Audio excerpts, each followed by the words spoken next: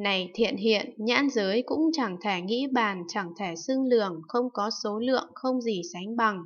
Sắc giới, nhãn thức giới và nhãn xúc, cùng các thọ do nhãn xúc làm duyên sanh ra, cũng chẳng thể nghĩ bàn, chẳng thể xưng lường, không có số lượng, không gì sánh bằng.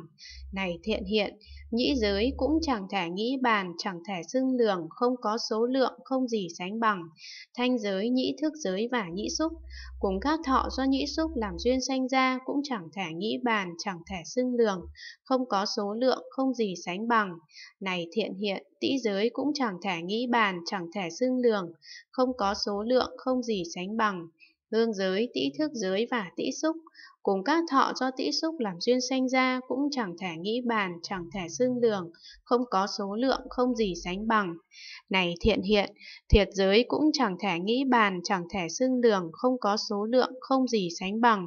Vị giới, thiệt thức giới và thiệt xúc, cùng các thọ do thiệt xúc làm duyên sanh ra cũng chẳng thể nghĩ bàn, chẳng thể xương lường, không có số lượng, không gì sánh bằng. Này thiện hiện, thân giới cũng chẳng thể nghĩ bàn, chẳng thể xương lường, không có số lượng, không gì sánh bằng. Xúc giới, thân thức giới và thân xúc, cùng các thọ do thân xúc làm duyên sanh ra cũng chẳng thể nghĩ bàn, chẳng thể xưng lường, không có số lượng, không gì sánh bằng. Này thiện hiện, ý giới cũng chẳng thể nghĩ bàn, chẳng thể xưng lường, không có số lượng, không gì sánh bằng.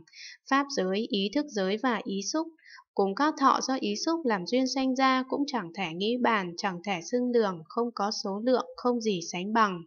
Này thiện hiện, địa giới cũng chẳng thể nghĩ bàn, chẳng thể xưng lường, không có số lượng, không gì sánh bằng. Thủy hỏa phong không thức giới cũng chẳng thể nghĩ bàn, chẳng thể xưng đường không có số lượng, không gì sánh bằng. Này thiện hiện, vô minh cũng chẳng thể nghĩ bàn, chẳng thể xưng lường, không có số lượng, không gì sánh bằng. Hành thức, danh sắc, lục xứ, xúc, thọ, ái, thủ, hữu, sanh, lão tử, sầu, than khổ, yêu não, cũng chẳng thể nghĩ bàn, chẳng thể xưng lường, không có số lượng, không gì sánh bằng.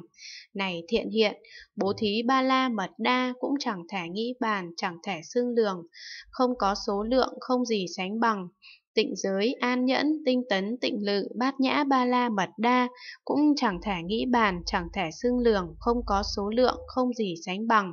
Này thiện hiện, Pháp không nội cũng chẳng thể nghĩ bàn, chẳng thể xưng lường, không có số lượng, không gì sánh bằng.